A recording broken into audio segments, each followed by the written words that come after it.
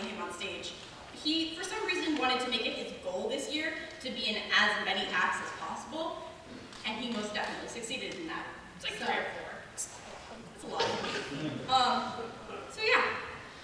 This is called At Last I See the Light, and uh, Rapunzel has waited her whole life to see the stars that have appeared outside her bedroom window every day on her birthday.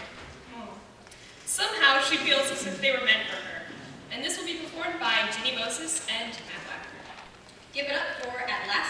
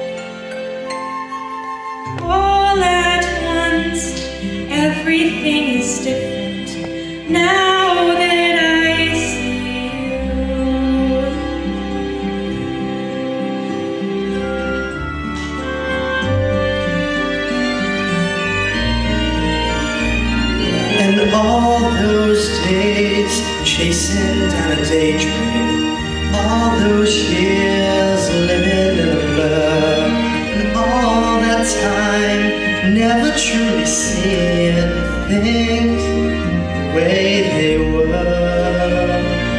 Now she's here, shining in the starlight. Now she's here, suddenly I know.